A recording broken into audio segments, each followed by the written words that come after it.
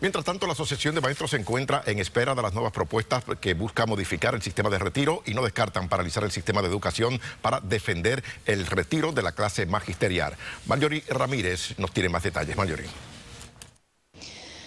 Bueno, y me encuentro con la presidenta de la Asociación de Maestros, Aida Díaz, porque en semana se espera que el sistema de retiro de maestros reciba unas enmiendas, se presenten unas propuestas, el Departamento de Hacienda así lo ha adelantado, y hay preocupación, eh, hay dudas de qué es lo que se va a estar presentando, pero el panorama no es muy alentador, por lo menos para los gremios, ¿correcto? No, nosotros ya sabemos que va a haber enmiendas.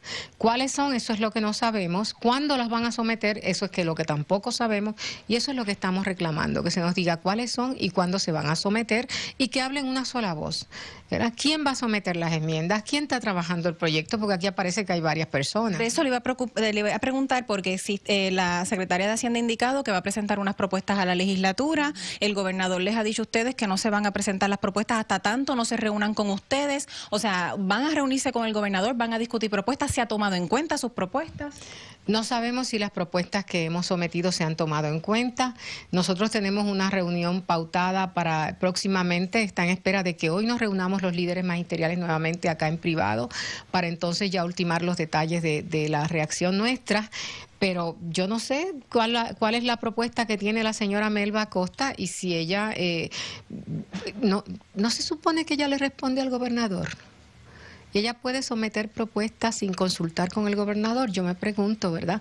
Yo, ¿quién, ¿Quién decide aquí? Hay una preocupación, y usted me lo ha indicado, y es que los maestros ya están locos por tirarse a la calle.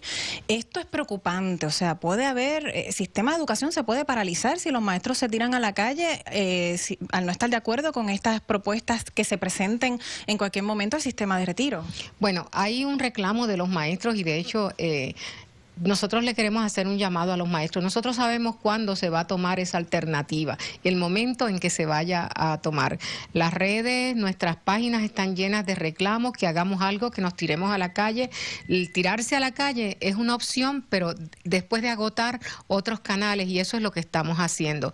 Pero más que nada, yo creo que más que ese reclamo, el problema es que aquí se ha creado un clima donde los maestros no se pueden concentrar. En estos momentos lo que piensan es este, en, el problema que tienen. Bueno, pues muchísimas gracias Aida Díaz por haber estado con nosotros. A las 5 de la tarde ampliaremos sobre el tema de los cambios en el sistema de retiro de maestros. Pasamos ahora al estudio.